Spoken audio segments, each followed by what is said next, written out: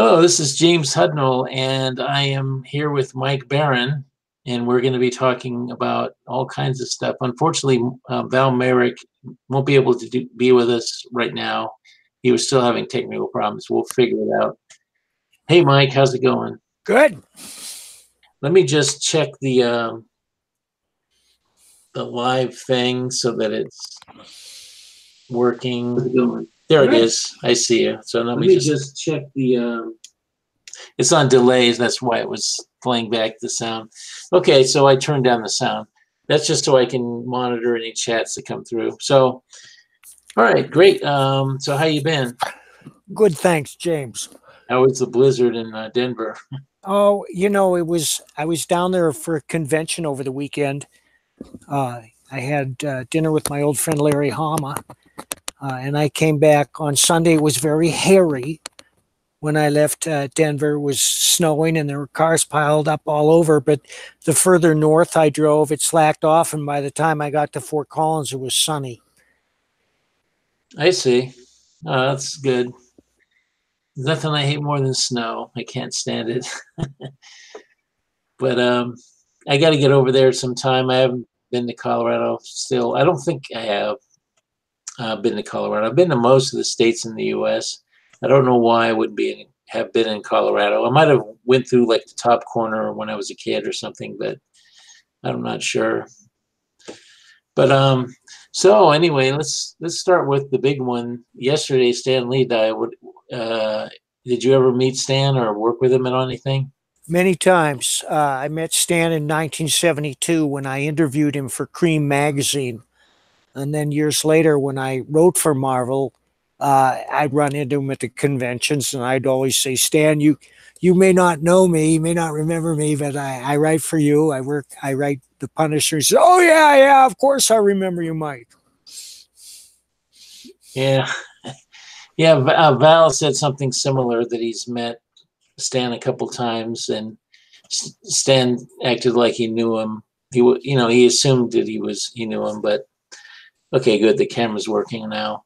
Um, yeah, so um, I I've never really met him, but I sat next to him Jack Kirby's funeral. He actually uh, came in late, and I was sitting in the very back with Brent Anderson.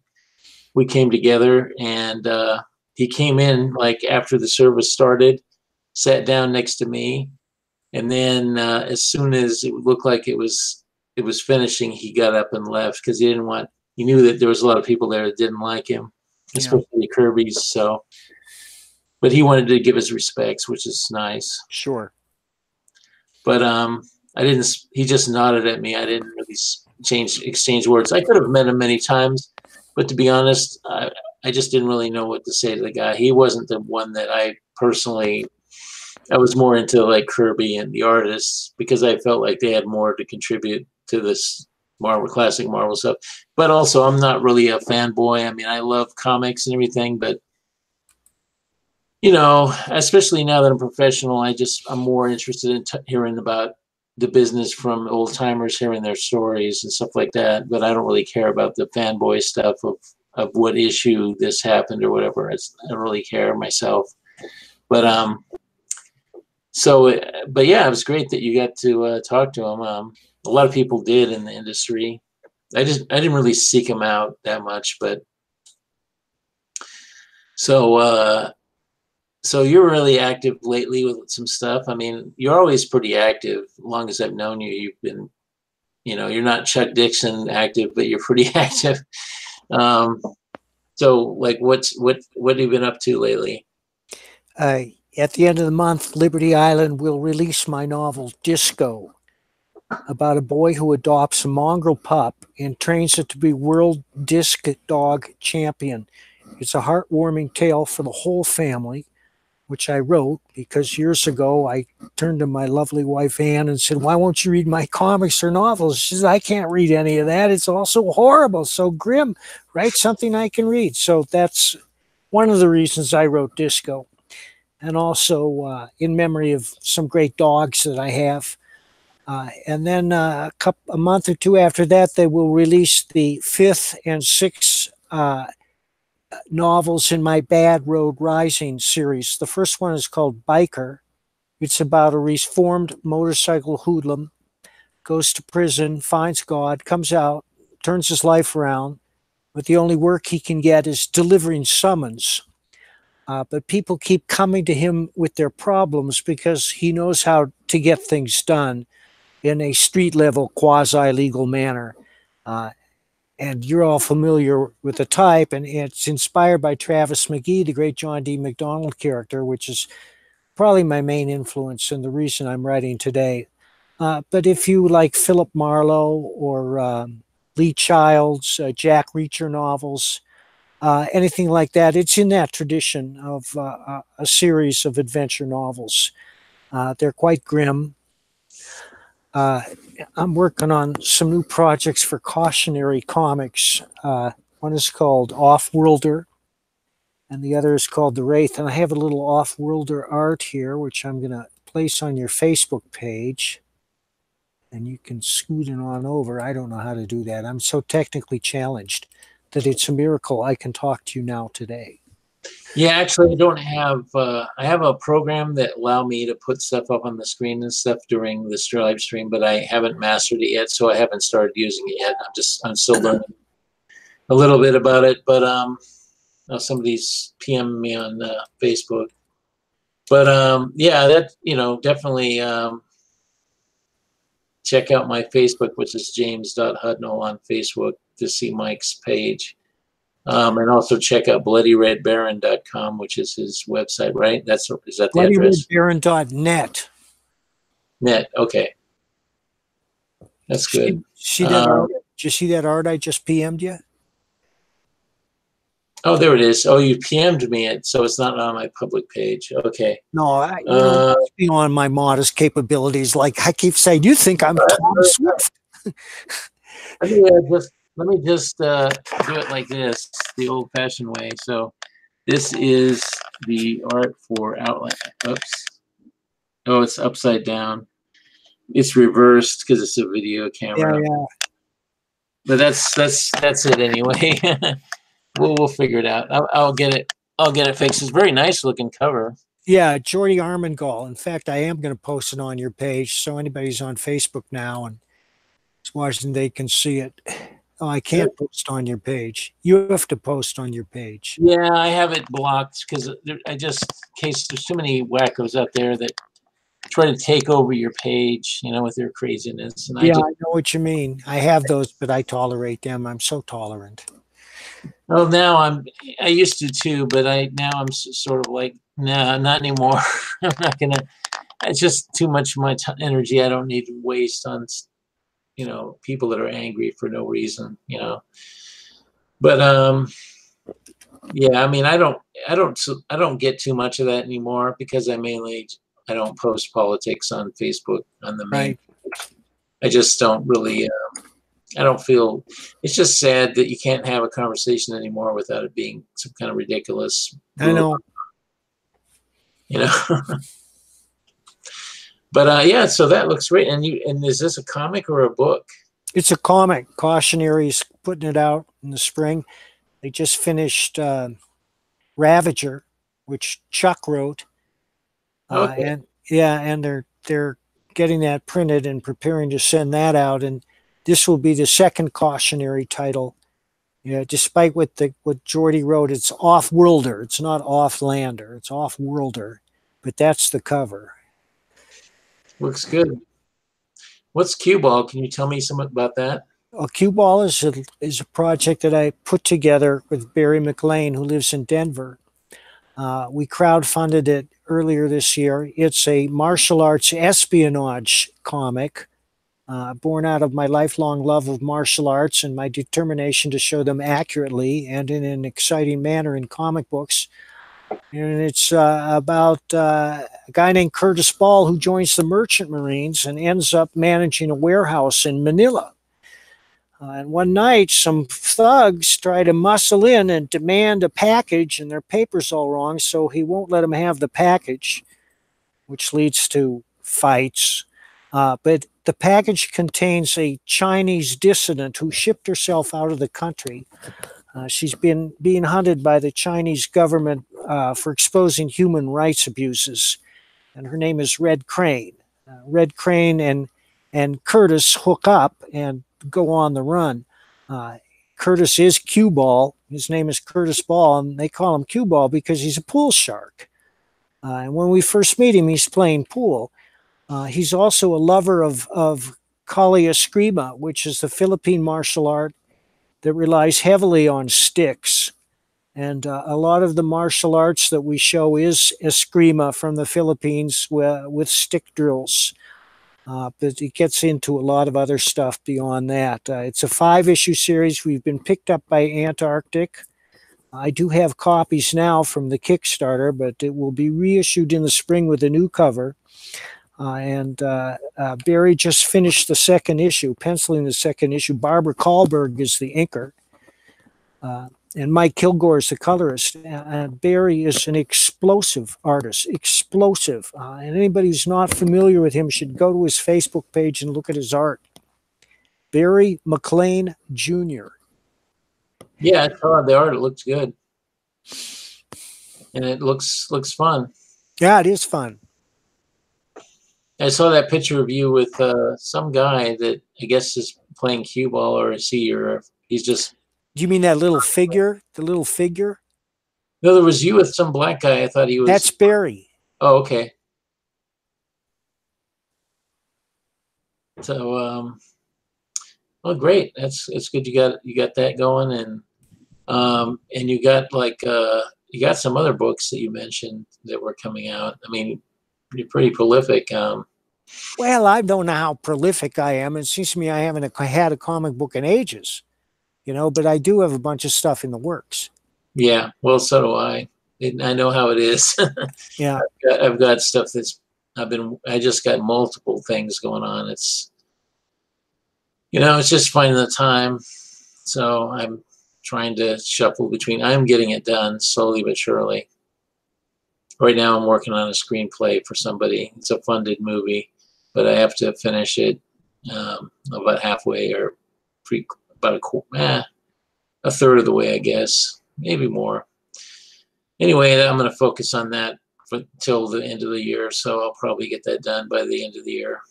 Um, and uh, I've got a bunch of projects, and Agenda is the big one that I'm promoting right now, which is my new Kickstarter. I mean, Indiegogo project. Agenda is. Um, yes, yes, I know about Agenda, and I urge everyone to back it. Yeah, great. I just brought it up because I have to pimp it on every video. but um, yeah, I appreciate that. Um, but we can talk about you. It's not all about me. So.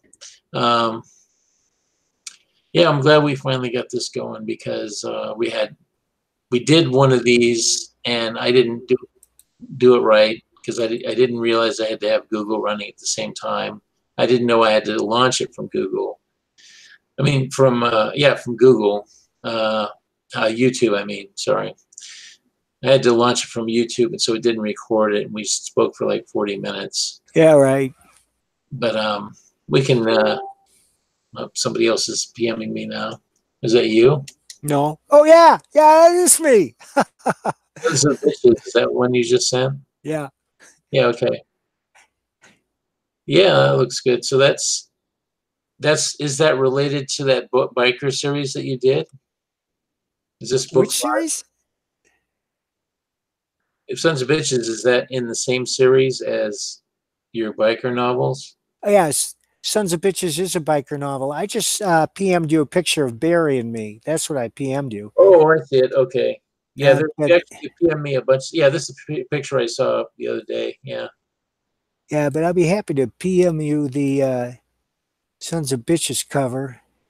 Yeah, you did that. I, I have it here. Oh, I see. It must have been an older one because I don't see it now in my thing. Somehow. Now you will. There it is. Yeah, there. Okay, this is a different cover. The one I well, just, yeah, I showed you the uh, Dave Dorman cover. Oh, okay. Yeah, that looked good. And I see your art for uh, cue ball. It looks like that you sent me. Or is which this? Yeah, this is cue ball. Yeah, the art looks really great. Very nice. kind of awkward for me to swivel this around, but um, I can. This is some of the art for cue ball. It's Huh, pretty nice. Let me just get this back here. It's a little awkward. I, I, I want to get a thing where I can switch back and forth. I actually have two screens now, so that's why I can switch back and forth. But I want to get it where it's on this. It's on the. It's on the thing. Are you sending me more stuff? That's me. Trying to get out of this. Oh, I have to X out of it. Okay. All right. That's that's enough. That's Yeah, all yeah. the stuff I'm going to send you. The Dave Dorman one was the one I saw earlier. Yeah. Oh, Fred Patten, did he die? Oh, I just saw that Fred Patten died. He's the guy that uh, used to be with um, the CFO when I started back in the 80s. I was into anime and he introduced me to the CFO. Well, he didn't introduce me to it, but I met him through the CFO. He was from LA. CFO was the cartoon fantasy organization, and they and I was really into anime back in the early 80s, and I tried to introduce a lot of people in comics to anime, and I did actually introduce a lot of them.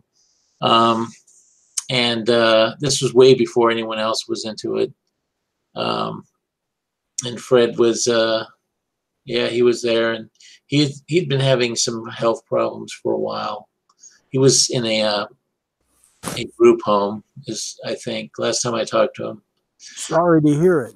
Yeah, he was a nice guy. He's a little odd, but he was a big fan from the old days. He was born in 47 and he was like a old timer fan of comics and I mean science fiction, every you know, everything geek related from the from his teenage years. So he was into it for a while and he knew all the LA people, so he knew Forrest Ackerman and all those people really well and um, he had lots of stories about fandom in the early days because he used to go to conventions back in the 60s and stuff. So anyway now let me switch back to your screen because i'm it's got all these screens going. Okay good. Yeah and so now i'm seeing it's i gotta tilt this thing again. This thing is kind of the way it's set up i gotta i gotta mess around with it a little bit. Okay. So um yeah. So uh, anyway, what's what's up with you? Other than that, anything you want to talk about? Well, uh, let me see. Um, I'm working on a Nexus novel. Oh yeah, I saw that you were yeah back on that again. But you're working on a novel. Who's publishing it? Well, nobody. I'm just writing because I was sitting there one day and I wasn't working on any novels, and the one I was trying to work on, uh, it wasn't working out for me. Uh, so I, I've always thought of doing a Nexus novel, and I had the idea in my head. And I thought, well, why not give it a shot? So I started, and I'm very happy with it so far. Uh, and all the all, everybody who likes Nexus is going to love this novel, although it's drastically different from the comic book because it's a literary experience. It's not a comic book experience. Uh, but I think I can pull it off. Yeah, I, th- I thought I read something that you and Baron, I mean, um, the dude, were working on something recently. Was was that my imagination? Or, No, it's not. We're working on Nexus. oh, okay. Who who- for Dark Horse? Yes. Well, dude originally commissioned it and published it himself in a, a very uncommercial format, uh, 17 by 22 inches. Impossible to ship, impossible to rack. He also rewrote all my dialogue. He was the editor and the publisher, and he exercised his prerogative. Oh, that's that project. Okay, I remember that from last year, or was it early this year? Now uh, Dark Horse is going to uh, bring it out next year, uh, and I'm happy about that. But it's more his vision than mine. Uh, and then we have some new material we're working on. that's good. That's your probably your longest running series, isn't it? Uh, yeah, it's the longest running series. We created it in 1981, and is probably the longest uh, uh, lasting independent superhero title there is. You and I uh, met in like '86 or it might have been '85, but I think it was '86. So you were working before that then? You were working all that way back to the 81? Yeah, but I think we started publishing with Dark Horse in 80, eh, with Capital in 82. Okay. Well, that's still pretty early. I wanted to get into uh, about 81, 82, but I uh, waited until I got my break with Eclipse because the, it was just a little overwhelmed by all the details back then of publishing. I wanted to do a color book, which would have been a failure because it just costs too much money to do it properly, and you have to have distribution and all that stuff. And the industry was still a well, it's a mess now, but it was a mess then too. And but it had they had lots of distributors, but they you know they were all soon to end. Not too much longer after that, so yeah, the big uh, bust out where all these distributors just flamed out for a while in the Yeah, we were just discussing this on Todd Mulrooney's show earlier today. And in fact, Todd is listening to us right now. Okay, cool. Yeah, I was on that show the other day. Yeah, we definitely uh that's a good show and um it's uh it's good that we now have the ability to communicate like this and to get our word out to the world because the whole world can watch this and it'll be archived so it can be it'll be out there as long as YouTube's around. I'm gonna I'm gonna download all the videos from YouTube and put them on BitChute and some other sites, so it'll be in, available in different areas as well. So the archive is not going to be lost very easily.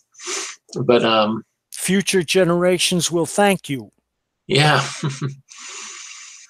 uh, yeah, I just think that it's great that we uh, we creators, independent creators. I consider myself an independent creator. So do, so are you and a lot of us uh, now have, are doing it anyways for various reasons aside from there's no point in working for the big companies if we can avoid it. I mean i can i don't blame anyone who does work for them but i you know it's i think we're better forging our new path for the industry because the industry we can't trust the so-called leaders of the industry because they are leading it down a cliff down to a laying it off of a cliff, you know, and we need to keep it going. We need to keep the comics alive and fresh and interesting. And uh, for to do that, you need new, exciting ideas and characters, and that's where we come in. We we have the ability to do that, and um, I think it's great that you know we have a voice that we and we have the technology now where we can publish and get our financing and do a lot of things ourselves where it was before it was very a very hard uh, it was very difficult to do that. Um, the playing field is much more level. I mean we don't um, we have to just forget about the uh, direct market because i don't know how long that's going to last the way it's running being run. Uh, to be honest i mean it's the company, the industry has gone through some strange upheavals since I've been in it and you've been in it, and um, it's amazing it's lasted this long. But you know, I, I don't think it's it'll die necessarily. I think we have the ability to keep it to re- rebirth it in some way. I think the artisanal comics that people are doing now through crowdfunding, I call them artisanal comics, but they're sort of like craft beer of comics, you know. I mean, they're just like specialty things that people that are that are into it and can get it, and uh, it could be supported by a group of people who basically we become small companies that are that other people that fans can come in and they can make it happen, you know, and they can make their own they can make comics that they want to read instead of just accepting the stuff that's handed to them by the big publishers or just throwing you stuff that most of you a lot of people just don't aren't interested in you know? Here here. Yeah. It's like we don't have to we gotta hey how's it going? Good. What what i'm really hoping for happens is that um there's sort of a next level of Indiegogo, maybe uh, f- financed by somebody else that has uh, a p- procurement center of itself. You know what I mean? Whereas they take care of all that. They take care of you. Find your printer, you have it shipped to them, and then they ship it out. Because if you Oh, can take that, exists. The printer that I'm using, yeah, it exists. A printer I'm using is a company that will also print. It does high quality printing. They're in Georgia, and they fulfill all of this stuff. So they they will send the stuff to all your crowdfunding uh, perk people that bought perks. They'll ship it to all those people, except in the case of signed books or things like that, then I have to we have to have it shipped to us so we can sign those books and then send them out. But but for the general shipping and stuff, they'll do that. And it's also print on demand, so it makes it a lot, lot more affordable because uh, we just send the order in and we we know exactly what it is. But any new orders that come in, if people want the book, they can order it in that for a reasonable cost for us. Uh, we can get the book to them, and uh, it's it just eliminates the need for distributors, really. that's great because that's what I've been thinking about the whole time. Is how many how many hats do I want to wear as a creator? Uh, how many things do Yeah, you know? I don't, I don't, I don't want to have to spend my my a lot of my time doing the business end because it's just time consuming and everything, and I want to just be able to be creative as much as possible. I don't have a wife, so I don't have somebody to manage that stuff for me. Um, And the idea for me is like I want to, you know, I don't want to bring you two comics a year, especially not of my comic. You know what I mean? I want to try to bring you six. I mean, granted, I'm wearing a lot of hats. I'm inking, I'm coloring, but I don't want it to be one or two times a year because that doesn't serve any. That's not going to serve any audience. Yeah, that well, agendas. I'm planning to be a quarterly comic, but I am planning to do more than that. I'm planning to. Uh, I have other projects that I'll be doing as well through this company. So, agenda is basically the first of hopefully many things. And and the idea of Freedom Forge, which is my company, is. Uh, oh, uh, I guess Mike's got to go. Yeah, boys, it's been a joy, but I got to run. Uh, no problem. Thanks, Mike. I appreciate it. Thank you for having me on. Great. No, I, thanks for sending me the invite. I hope I, I didn't mean to jump in on anything. I just wanted to to speak about that a little bit. Yeah, let me just. This is Todd Mulrooney, by the way. He did the cover for my book, um, "The Secrets of Writing," which he did a great job. Um, and uh, yeah, it's fine. Uh, yeah, we can talk. Um, so what? We where were we? We were talking. Oh, we were we were talking a little bit about um agenda and and the idea of meeting, uh, trying to do a certain amount, and then you obviously you hinted towards another project that you're in the work, so that you're giving people more content, um, and then sort of even feeling out the waters of far as well. This seems to be a bigger hit. Let me concentrate more of my time on this. Maybe give you a spin off of this, uh, and and that's kind of what I'm thinking of. Is like. Um, you know, but I'm only the artist, right? But uh, um, the idea for my book, uh, Ignition, is is a 22 page feature and a 10 page backup, where I give you different things in the backup. So you stick with the feature. If I can hook you with that, then you'll start to see other characters in the universe. Um, and eventually, what I want to do in the first uh, like six, seven, eight issues is is show you some characters that you see in the feature, show you some characters that you see in the backup, and then I want to create a straw poll which like whose origin you interested in? I'm trying to steer them towards something but i want to see what kind of response i get back and like oh no we want to see hollow point's origin or, or something like that. So i'm trying to break that veil of giving you more than just a book give you something uh, more of a product that involves content your interaction your ability to communicate with me sort of break that whole veil down of uh, creator and fan you know that's the whole idea Yeah, well, I, yeah, I um, I've thought about that as well as you know, there's a lot of things that want to do. Of course, there's only so much time and energy, but um, I think that's good. I mean, here's the thing: there was a time, you know, the time that I grew up in, um, comics did that. They they would have like a feature story and they'd have a back. If you look at the old Marvels and DCs, they would have like the front would be the main story and then there'd be like a backup story in the right right and I think it's you know, and, and the idea was so they could showcase other characters, and um, in fact, if you go back to the '40s, which is before my time, but you know, they had like uh, the comics were thicker, and they had like six stories in them uh, of different characters. You know, Action Comics was originally an about action comics. It wasn't just about Superman. It was about a lot of different characters, and um, Detective Comics was called that because Batman was just one of the stories in there. Eventually, those characters took over the books, but they were originally about a lot of different characters, so the companies could basically create all these different properties that they could explore and all these characters. And um, I think it's just a good model. And uh, the main thing is just the critical thing is uh, for publishing is you have to be consistent and keep it coming at a reasonable schedule because if you look at uh, the people who are successful at self-publishing, it's people like uh, um, Dave Sim with Cerebus. He he was able to manage to get those books out every month regularly, and so is uh, Robert Kirkman with his books. He's he's been able to get his books out regularly, and the quality's been good.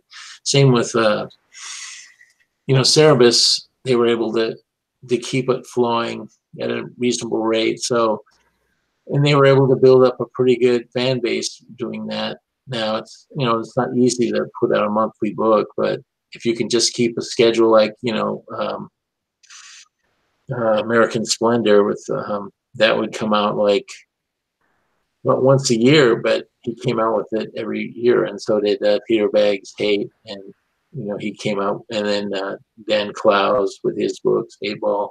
So I mean, um, if you just keep it coming on a schedule, people can depend on it. You can work it out, you know, it, it can uh, develop into something. But I think that um, the more you can do, the better, as long as you don't over burn out or overdo it. Yeah, that's you know obviously the idea um, is you know obviously have to self prove myself to myself too, and then prove myself to the audience or anybody that I'm able to to keep uh, keep in sort of any base I can build. You know, if I can keep them and keep you entertained then that'll sort of drive me a little bit more too because it's one thing is like i talked about this with mike is wearing a lot of hats can kind of burn you out because as an artist the page you're on is the best the page you like the most and so so now i'm i'm, I'm trying to do an indiegogo 42 pages so when I draw, like I'm on my next page, right? So I'll bring up two or three pages that are ahead of it. So I sort of keep the flow and remember where the blocking is and all that but I'm looking at pages I no longer like as much. So not only that, when I get to the point where, okay, I've inked all the pages, now let me get my coloring hat on and sort of uh, get a flow going with that. Now I, I don't even want to see these pages anymore. I'm so sick of them, you know? That's the really hard part because doing, uh, you don't have the machine behind you and and maybe you don't have the, uh, uh, for instance, if it does sort of go well on Indiegogo, then I'll give up coloring. I'm not the greatest colorist. I'm sort of a passable colorist, um, eh, but not that I wouldn't try hard and, and, actually get better at it over time. But I don't consider myself. Uh, I just consider myself passable. You know, when it comes to that, you know, definitely I've tried some. I'm trying some things that are unique to uh, type of character, being that he's a fire character. I'm trying some unique things there where like you kind of see the avatar I have is the idea that his skeleton is really glowing through his skin. That this isn't um, a fire that's on the outside. It doesn't come from that. It's more of a molecular level fire. So I, I have different things in the works. The character is not just uh, uh, Johnny Storm. He is uh, uh sort of a, a amalgam of Johnny Storm and Green Lantern, where he can make constructs with his fire. Um, so yeah, getting getting man, my plan is to try to do. I'd love to get up to six. I'd love to get up to six issues a year, but you know that has to. I have to prove that to myself too. I can't just say I can do it. I don't really even know. I'd love to be able to get to the point where like, okay, it's monetized, everything's going well. I'm going to turn this coloring over to somebody. I, have actually sort of stalked a colorist who I know can do this very capable. I've seen him do the effects uh, of fire and, and, and things like that really, really well. Um, but you know, it's hoping. There's a lot of hope. I do like, like you guys were talking about the market and and how Indiegogo or crowdfunding has changed the game. I just wonder if there's another level to it. Well, there is. Um, it's evolving, and it will continue to evolve. And uh, as far as being able to put stuff out on the schedule, you just have to develop a system, and you have to stick to it. It's a discipline, like anything, like working out or something else. You gotta, you gotta do it. You gotta set aside a certain time and dedicate yourself to that time. So, like some writers, they start working at like six in the morning and they work till eight, nine, and they just produce X number of pages and then they do something else and then they come back and do a few more hours or you know everybody's got a different schedule.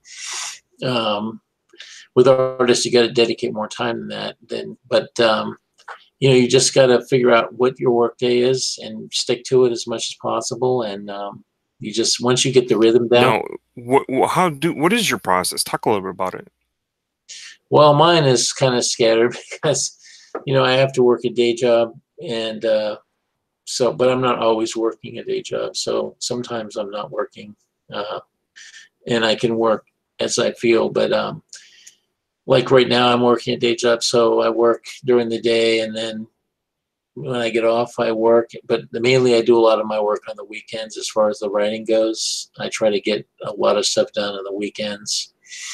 And uh, I don't know, work a little bit, an hour or two at night. Um, but I usually, when I get up, I just go straight to work. But when I'm not working, then I can work, you know, all day if I want to, or as many hours as I want to. And it's just, like I say, a matter of discipline. You got to say, I'm going to work from here to from now till the X number, you know, till six or whatever. It just depends on how much, how I feel. Like sometimes the flow is, you know, you're working and you just feel you're into that zone and you just want to keep going until you're tired and don't want to you want to stop. For me, that's kind of how I work. Is I I try to get into that zone because that's the important thing. You gotta you gotta be able to focus and and sometimes it takes time to build to get into that state of mind where you're you're just constant focused on the work and not distracted by a lot of things. My problem is I tend to get distracted by stuff.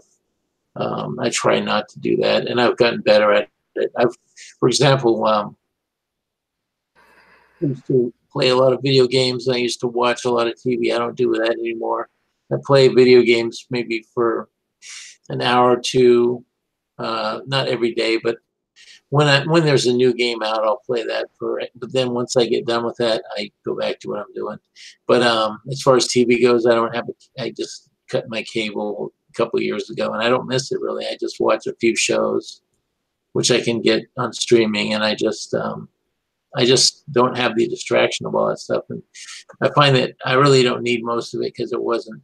It's I just watch stuff that's good, really good, and I just ignore everything else, the marginal stuff. I've just pretty much cut it out of my life, and you really feel more free and more. Actually, makes you feel better to get rid of that junk because a lot of it's negative and a lot of it is it's not constructive. It's and it just a lot of bad influences. You know, a lot of it is just hack, and it's just a lot of bad, bad work. You know, and it's just a waste of your energy. No, I, I agree. I, I don't even turn my TV on anymore. I used to like to draw to it. Uh, what I'm probably drawing to more now is just listening to shows like this, at, giving advice and and learning uh, business aspects of this whole thing is more more my need. You know, it's it's something I kind of need to do so that I make sure that I don't misstep or or you know I, I have sort of a lead in what to expect. Uh, for instance, you just talked about a printer a little while ago, and, and now I know, whoa, there's a printer that'll actually act as a procurement center too at the same time. So I'll, I'll be contacting you for that information too. Yeah, I'll send that to you on Facebook. Yeah, yeah it's pretty company that's definitely the, the idea of this community as far as um, what we we've sort of uh, aligned ourselves to the idea that uh, these people want certain types of books and they don't want certain things in their books. So the, the, the outside of that um, feeling is these creators that are involved, willing to share and help, bring you on their show. Uh, that that part of this has really kind of got me. It's sort of taking me back a little bit um, to sit there and talk to Mike Baron for an hour uh, on on my show. That's just you know just floors me. To talk to you floors me. You know because I you guys both won awards in this industry, and to me, to that's the um, you know that's the pinnacle because it's not it's it's not a, it's a thankless industry other than the fans the interaction with fans that's that's where it's probably really at is meeting people and, and getting to them say oh your work really inspired me or this that and the other thing. But the only way in the business from your peers is to sort of be either even nominated or receive an award that says you know what? Your work stood out. And it stood out because of this or that or the greatest single issue or yeah don't get wrapped up in awards because a lot of it is just I, I, the way i describe the comic industry is it's a lot it's um a lot like high school except more depressing. It's basically it's you know a lot of clicks and a lot of you know politics and everything. And um i just i just i'm not into that. So I was not. I'm not a big like super sociable person. I can be, but I'm not. I don't go out of my way to be. So, um, as a result, you know, the industry kind of favors people that that are in certain cliques, and they all sort of give each other pats on the back. And it's really a lot of the people in those cliques aren't that great, to be honest. And in, in, in a lot of those cliques, and they just sort of like push the narrative and everything, and um, so a lot of things that get awards, they might deserve it to some degree, but not as much as other people do. I mean, there's always better stuff. I mean, for me, it took years of getting recognized and just being, I felt like nobody was paying attention to me. And then uh, what would happen is I would do a book, and then years later, after it was done or canceled, some people would come up to me at a con and tell me how great it was. And I'm like, where were you when it was coming out? Because, um, you know, you, you, you can feel really lonely sometimes doing this stuff. But, you know, the, the key is persistence. You got to keep it going. You can't be, you have to focus on just producing. Producing is the key. And the more you draw, the better you're going to get. The more you write, the better you're going to get. The more you color, the better you're going to get. You know, you've got to keep doing that. You have to focus on the work and not on the fame or any of that stuff because that's ephemeral. I mean, uh, when I was working on the Ultraverse, the first year of that was great as far as the claim and everything. Uh, we would have I one. I remember one went to one signing in Anaheim, and there was a line around the block for me and Mike Baron, uh, not Mike Baron, uh, Mike Barr, and uh, somebody else. I forget who else was there, but it was Mike Barr and myself, and I think a couple artists. And uh, it was at Mile High had a store in Anaheim at the time, and the line went around the block. I mean, it was a giant line, but I didn't. I realized that it's not about me or Mike. Even it was about the idea of us, or the idea at that particular time of that this book, these new books might be hot, and so everyone lined up to get signatures. But it's just hype, you know. You gotta, you gotta separate yourself from the hype and focus on what because I'll tell you what people that get remembered, the people that put in the work and and try to better themselves. It's not going to be the people that are just hacking it out to get noticed. You know, I mean, those people are going to be forgotten. A lot of them. Uh, I think, you know, I've worked hard in my career, not as much as I would like to have done. I would have liked to have had more opportunities, but you know, that's just here nor there. I can't do anything about that. But, you know, I am respected and I know that my work, a lot of it stands the test of time. And it's just a matter of me producing as much as I can while I can. And then hopefully in future generations, hopefully will be there to like it. And um, I can't really focus on the now because here's the thing, you know, a lot of people that produce work it may not be appreciated. I mean, you're young. I'm like 62, almost 62, and it's just you know I've been doing this a long time, and I'm still not where I would like to be. But it's not really my choice. It's it happens or it doesn't, and you know, there's a lot of famous people who are ignored in their life, like H.P. Lovecraft and Robert E. Howard and um, uh, what's his name? I keep forgetting, blanking on his name. The guy who wrote The Minority Report and um, Blade Runner and Philip K. Dick. Oh yeah, yeah. There's like a trillion TV shows and movies based on his stuff now, but he died impoverished. You know, he died broke, and he was struggling his whole life, and he went through all kinds of stuff.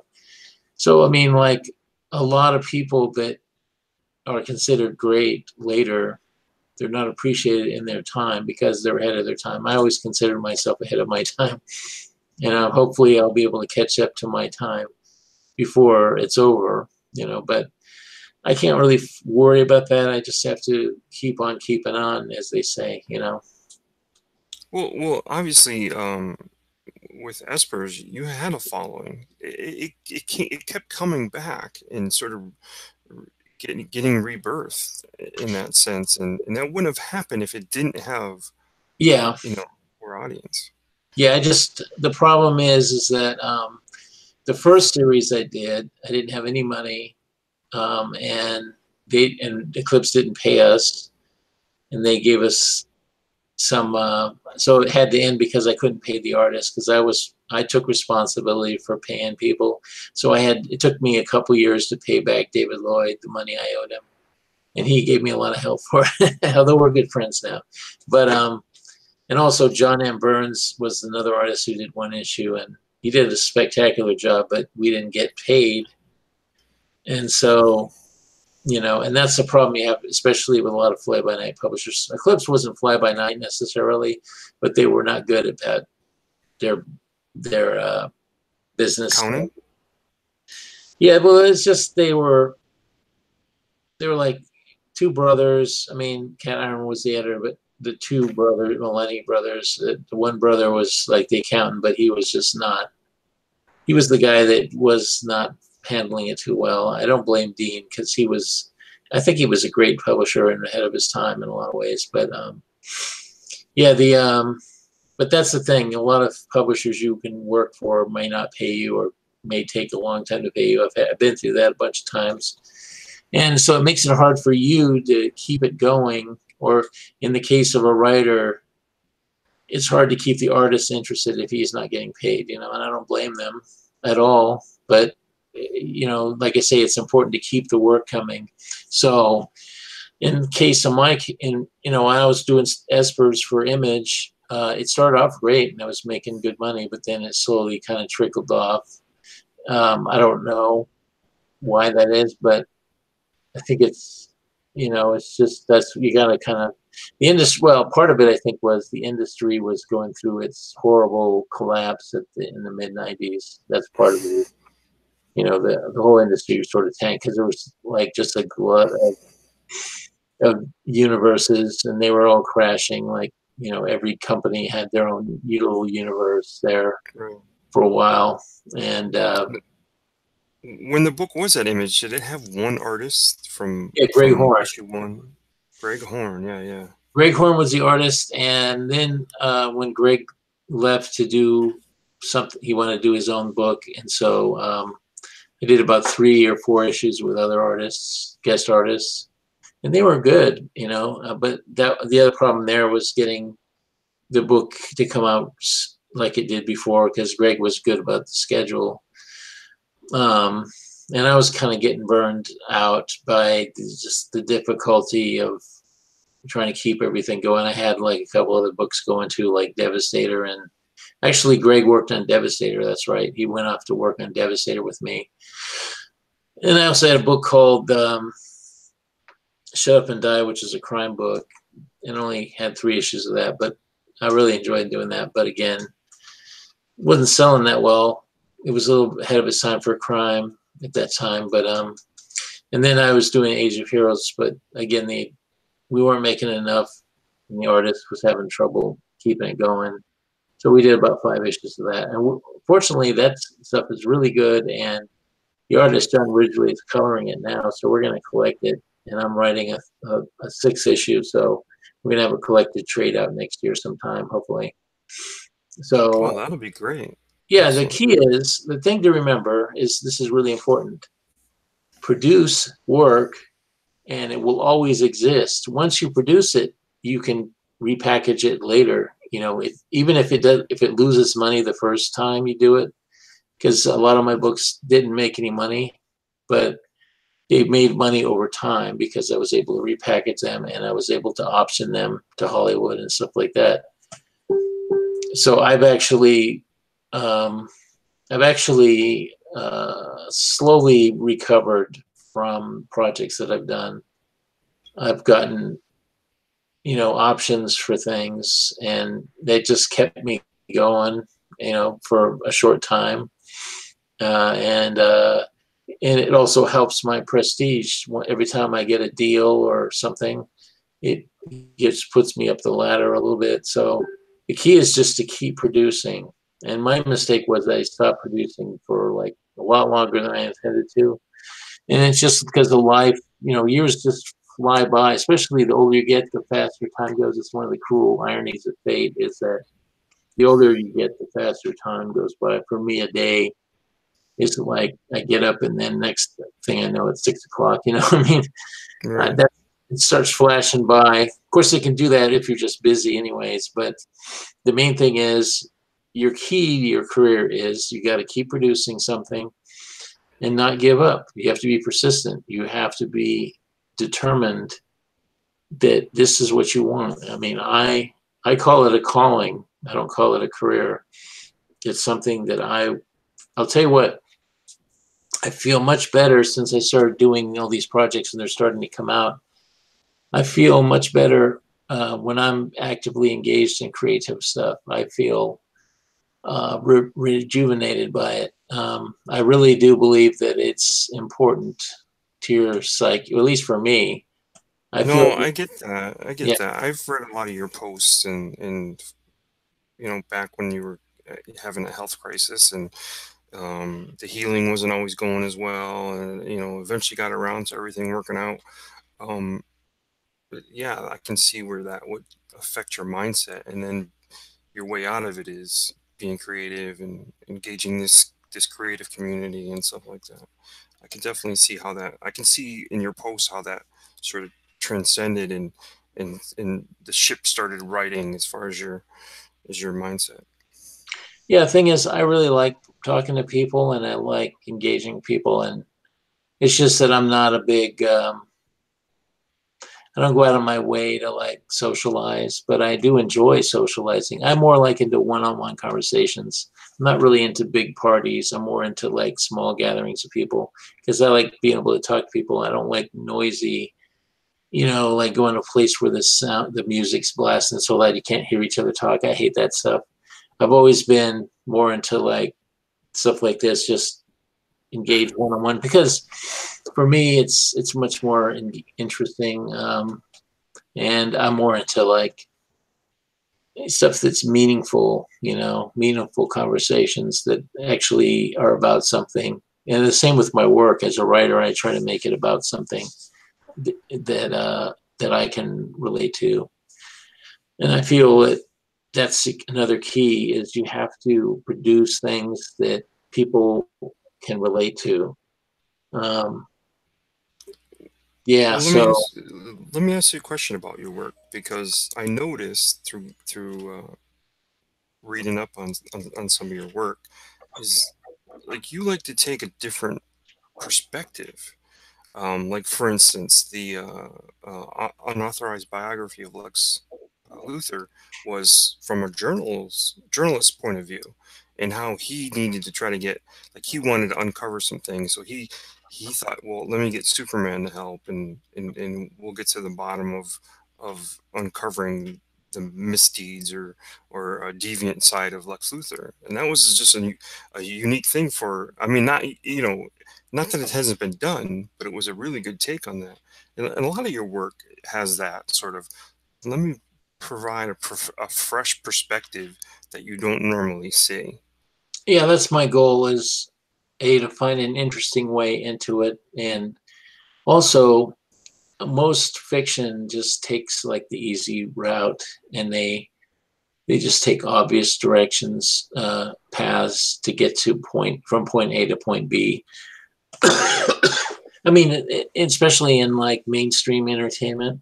So but the stuff that i've always been attracted to are writers who don't do that and they they really take you down different roads and different rabbit holes because it's a more interesting journey and you find out different things that you wouldn't have found otherwise. So, you know, one of the reasons I wanted to do the Lex Luthor thing was I wanted to, I really liked Lex Luthor as a kid. Uh, he was more of the scientist in a gray outfit, like onesie or something. And um, he was not like the character from the 80s but I worked with that because that was what the character was at that time. But um, I like the idea of somebody who was a, a legitimate threat to Superman, but he had no powers. That's what I liked about it. And also, he was really intelligent. He was on par with Superman's intelligence uh, because at that time, Superman was really intelligent. So, and then there was, you know, the main problem with Lex Luthor was his ego and his, you know, his hubris, and, and that was his downfall. And I thought there was a good kind of moral lesson there, but I want to do a story where there was no super. excuse me. There was no um, super superhumans in it necessarily. It was just a straight crime story.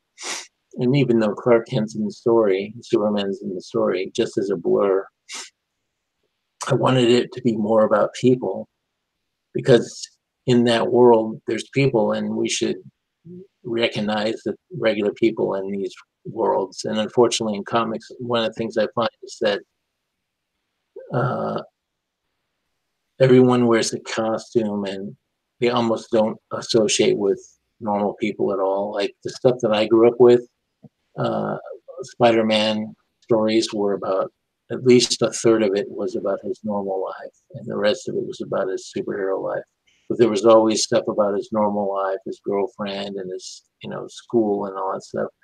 And, and other books, also at that time, they would spend some time on the character's normal life, so it was more connected to the real world. But in the '70s, a lot of these artists who were, I mean, writers who were fans who got work at Marvel and DC, they just made the stories about uh, every single person was wearing a costume and they didn't interact with regular people at all. And the stories to me were just like Byzantine and didn't go anywhere important. And they were just kind of like grudge match stories. And I just kind of hated it. And I lost interest in comics in the late 70s because of that. I only got back into it because uh, I just sort of, out of nostalgia, I picked up some comics and saw the books and that was kind of interesting. But um, you know, it's like uh, to me the path uh, to a good story is to make it about something that people can relate to, and I don't think you know red meshes between people and costumes that have powers is interesting on its own. You know, you have to look at those Marvel movies. They're successful because you go back to the old formula of Marvel, which is yes, they you have all these people with superpowers, but they, you do see some of their real lives, and you do. It's sprinkled in with the story, so there's more to it than just Thanos and you know Loki and whatever being bashing people around or whatever. I mean, they managed to mix it in, so there's stuff for people to get into, and you know the average person is getting into these movies because there is something to hook them in. It's not just you know big fights, and um, so that's been my philosophy from the beginning, and I'm glad to see that it's sort of being recognized in some quarters. But you know, as far as the mainstream comics now, they sort of lost that thread. I think, or they've they've kind of taken a different, they've taken a, the wrong view of things. There's sort of like a um, an overarching uh, ideology that's threatening all of entertainment at this point. I don't think it'll last. It's just a phase, I believe. But um, this whole like uh, progressive kind of ideology push where they're trying to just ram all this stuff down people's throats and it has to be in everything. And people don't relate to that and they don't agree with it and it'll it's being rejected. You know, for example, the new Doctor Who is a woman and that's the ratings went off because first of all, just forcing gender switch on on a character that's been established for like 40 something years and all of a sudden out of the blue they they they push this on it and they don't even do it well. The writing isn't that good and you know nobody's buying it. So people are it's just dropping their ratings are just nosediving and it's going to happen with you know star wars look at that you would think that would be invulnerable right but it's it's crashing because people are just sick of the the unimaginative derivative and progressively forced ideology on this stuff that doesn't have it's in another galaxy. Why would you need to force all this crap on the story? it's not even right. Hmm. universe for crying out loud. I, I have a question for you. If tomorrow you came up with a really good, say, Superman story, now do you think uh, if you flushed it all out, created a pitch, do you think ageism is something that would keep you from being able to get that pitch into the right person's hands, or do you think there's enough cachet to your name that even though there's some newer editors and they're kind of a little bit different or whatever, they're you know that like how what would be your avenue? How much red tape, tape would, would it take for you to get to the point where you say got it into Mike Carlin's hands or or well, I know Mike Carlin. I mean, I worked with him in the past, so that's not a problem. But he doesn't have any power as part an editor. He's not been an editor in a long time. Oh, he hasn't. They pushed him and sidelined him years ago. Well, he, to, to, be honest, I don't think about it. I don't worry about it. I'd rather po- make my own path. But um, yeah, I think there'd be a problem for me, and it's not just ageism. There's sort of there's an openly racist mentality of these people that scream about racism and sexism and everything. They are this racist and sexist. They they don't want white men. They don't want you know heterosexual white men, and they you know, and they um they for example think that a book about a black person must be written by a black person and all this other dribble. It's nonsense. I mean, it's all about the talent of the individual. It's all about individuals. It's not about race. It's not about sex. It's not about gender. It's not. I don't care about any of that stuff. I don't. I never have. I've never cared about if somebody's gay or or anything. I've never cared. I just care. I look at people as people and that's the way I've always worked as my stories. Also, as I look at the characters. I mean, I've had multi-ethnic characters way before anyone else. I mean, when I was working for Force Morituri, I had Sikh characters. I had, you know, Indian Sikhs, and I had uh, people like ethnicities that are not even normally touched in comics. I was doing that, you know, Cambodian or whatever. I've done all that stuff, and I didn't do it because I wanted to tokenize that. I just thought it was an interesting way into the story that have somebody with a totally different worldview. And that's just, you know, that's always been my attitude. And I really resent and just don't like the way they've been posing all this kind of tokenistic crap on people nowadays. And I, and just their attitude that I understand from people I talk to in the business, uh, editors at some of these companies, especially Marvel. Marvel's the worst. The current uh, people running Marvel. They're just like fanatics, and they're not. I just don't see a point in talking to them. And for me, also, uh, I wouldn't really want to get in at those companies, Marvel or DC, necessarily, because it's all about them owning everything, and they they just want to own stuff, and they so they'll take your ideas and then they'll say, "See ya." I mean, they they just they just like throw people to the side very easily. There's no job security at Marvel and DC for these companies. They you're just there until they need you, and then you're gone when they don't need you. And I just I just have people aside, people that are really talented and people really good that that could produce really great stuff, and they don't even give them work because they'd rather give it to somebody, some some you know somebody from like Tumblr who's a lesbian, they'll give them work. Somebody who doesn't even care about you know, comics at all. but they they happen to do something about intersectional, you know, LGBT nonsense. I mean, it's like that is that is not. There's no story there unless you unless you understand how to tell a story, which they don't. You know, that kind of stuff is just to me kind of grotesque. So, Do you think there's a? You think the pendulum will swing back, or? oh yeah, well, it did swing back, but it's it takes time. You know, it's it's it seems very hopeless when you're in the middle of it. Mhm. depressing, and I certainly understand how some people feel. They feel like, uh, you know, will we ever be out of this mess? I don't blame you for feeling that, or you or anyone else that feels that way. I understand because I do see a change, though. It's see, I'm old enough to remember something similar, not as bad, perhaps, but when um, the 70s, when Carter was president, it wasn't quite the same, but you know, the country was really in bad shape in the 70s. Uh, if you went to any part of any downtown in the U.S., it was like a, a it was just so ghettoized and so run down. Like downtown areas were just like crime, crime was rampant, and you know, it was just really bad, including downtown San Diego where I live. Um, I lived here in the 70s. And I went to high school here, and I used to go downtown to look for books and stuff, and it was just like uh, a cesspool. You know, it was like taxi driver type stuff. And um, then everything turned around when Reagan got elected, and and the country revitalized. And we're going through that period where the revitalization is starting, but it takes years before it really is felt. And um, of course, there's a lot of resistance, quote unquote, but a lot of that, the people that are into that to the extremes, they're just minorities. They've always been minorities. Extremes on both sides are minorities. The most people are just they just want to live their life and they just want to enjoy their they just don't want to be bothered and they want to be able to do what they want. It's these pol- political people that are always messing things up and they're always making life unnecessarily difficult. For example, in California, they have these horrible wildfires right now.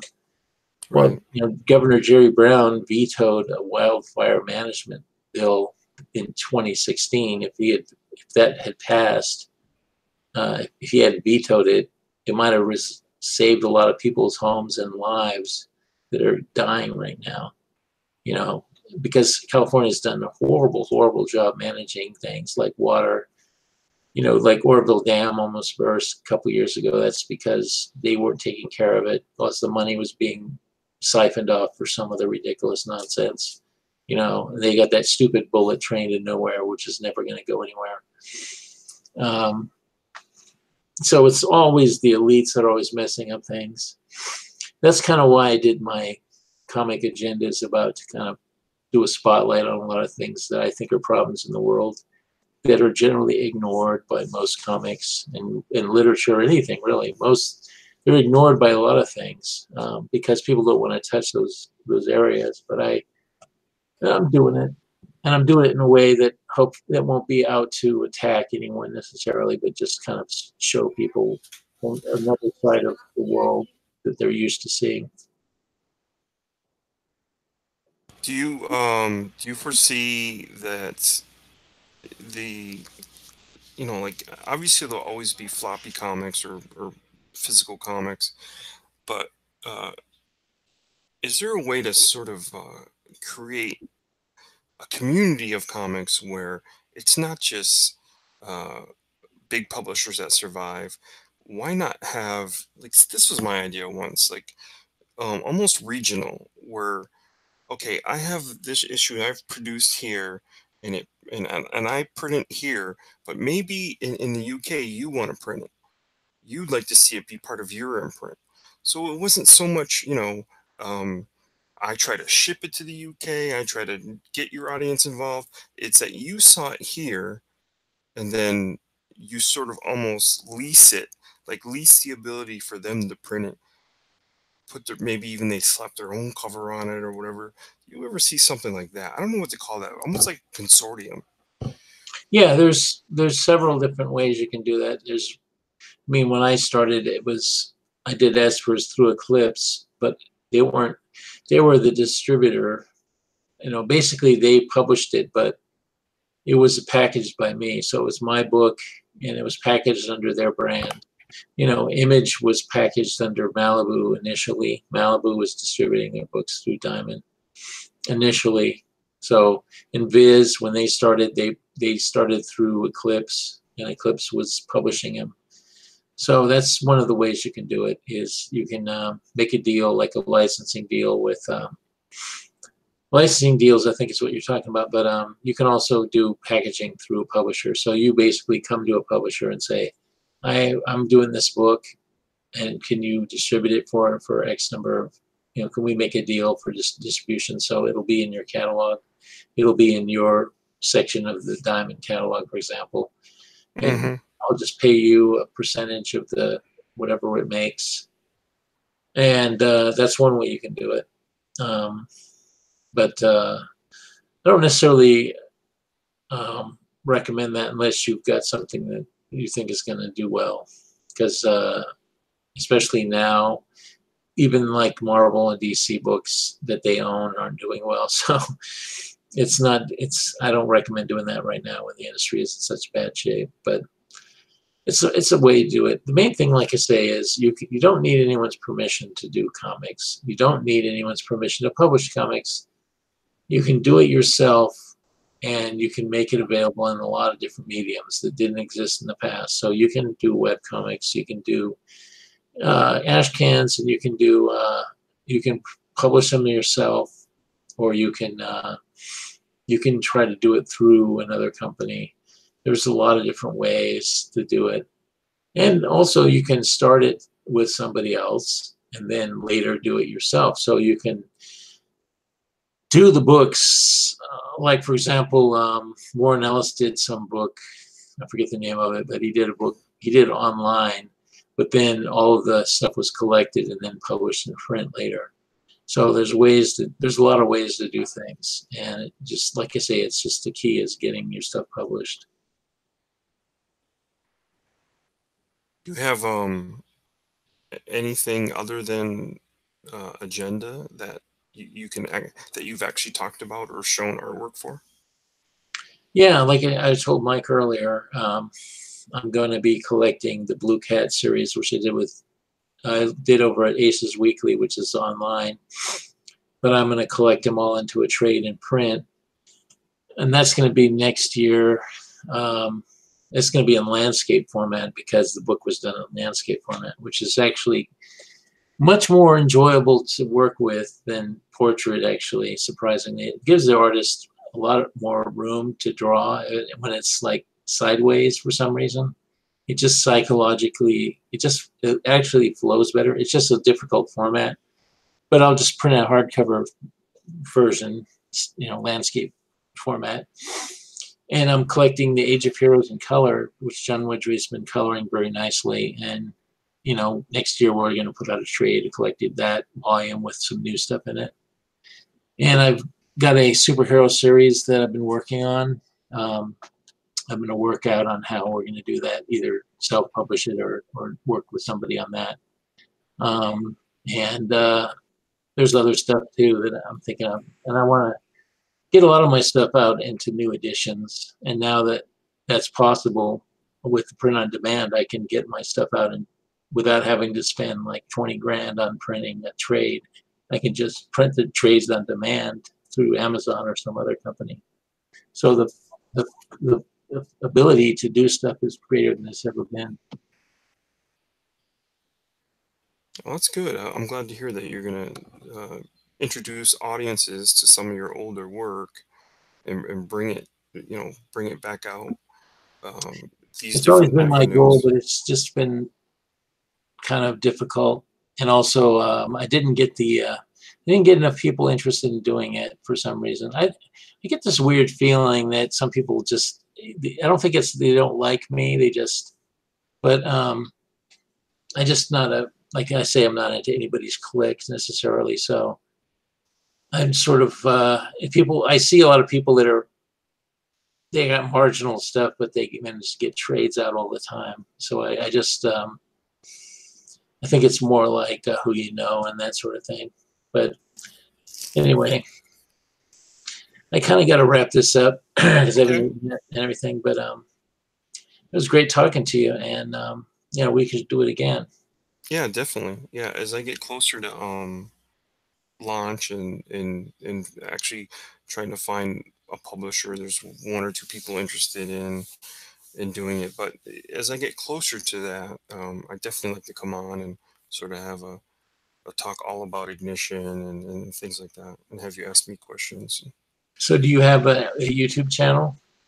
I do have a YouTube channel. What It's is it? So put, it's funny because I was I had um Mike on at between six and seven, and so I, I was thanking him through the IM, and I said, "Hey, I want to thank you for coming on." Da, da, da. And he said, "Oh, he sent me the link to to your show, you know, because I was like, no, no, I just want to watch." He goes, "No, no, come on, you know." And I don't know why he did that, but he did he was trying to get off. That's why.